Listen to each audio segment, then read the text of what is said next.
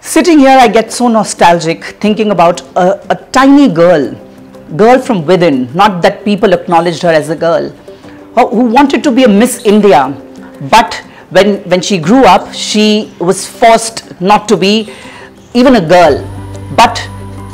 she was she was daring enough to live her dreams she was daring enough to go ahead and you know pursue what she really wanted to. And this is what uh, my story is where i always wanted to be a miss india since my childhood. But again you know the the society didn't allow me to do that. The people around me didn't allow to uh, allow me to do that. But at the end of it um, i always thought it is better to if you cannot be one you can create many. So i that is why i joined pageantry as my profession i joined i started working as a pageant coach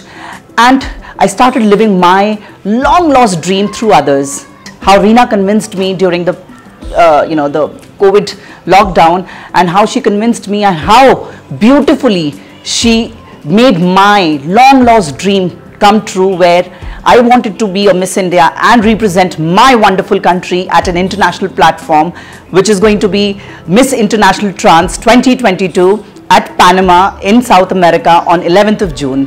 All I want is your support. Please support me as a Miss India or if not a Miss India, if not a male or a female or a trans, just support me as a human, an Indian citizen who's going to represent our one 130 crore people at an international platform and I want to take up uh, you know that whole stage and bring that crown back to India and make you all proud because you know I I've traveled across the globe and I've realized that सारे जहाँ से अच्छा हिंदुस्तान हमारा